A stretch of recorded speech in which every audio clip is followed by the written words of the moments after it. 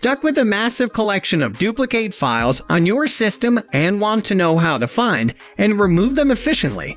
In this video, we will show you 4 ways to find and remove duplicate files in Windows 10. Before we get started, subscribe to our channel so you don't miss out on any future videos.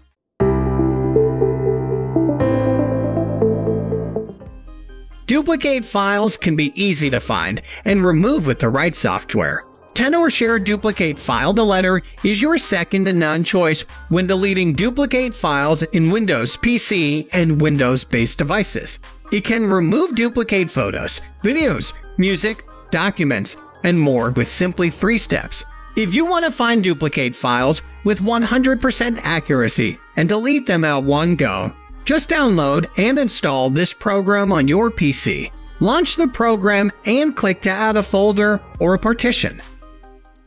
Here, click the gear button to unfold the settings. You can choose to filter by the content or file name or you can define the file size to scan. Also, you can choose to remove duplicates to recycle bin or just delete them forever. Click Ignore Scan. You can exclude those files from scanning which are obviously selected by default. To prevent certain folders from being scanned, tap the three horizontal dots beside the excluded path and click plus sign to select folds to exclude. Click File Types. You are able to decide which file types to scan. Everything is set up. Now click Scan Duplicates to start searching. After the scanning, Tenorshare Duplicate File Deleter will list all duplicate files based on your searching criteria. On the right panel, you'll know the quantity and size of each file type. Click the eye icon. You are able to preview the file.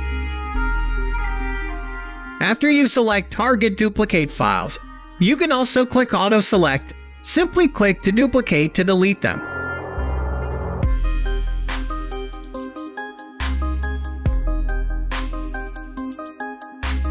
Does Windows PC have a duplicate file finder? Windows doesn't include a duplicate file search utility, but still, you can find duplicates without software.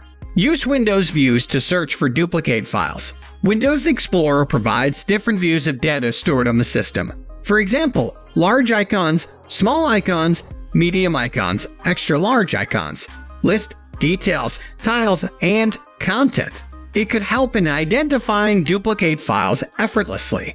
Features like preview pane and file details like origination date and time can also help here. Sort files with Explorer Details pane to detect duplicate files. You can sort out the duplicate files using the parameters name, date modified, type, size details to identify duplicates quickly.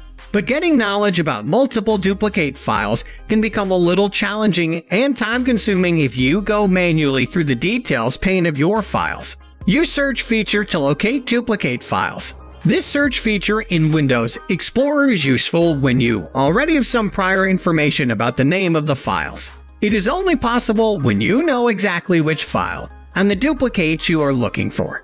Typing the file extension in the search bar can help you in finding the files.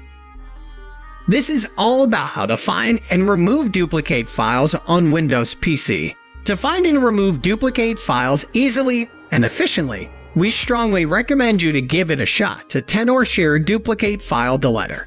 Subscribe to our channel if want more useful tips. See you next time.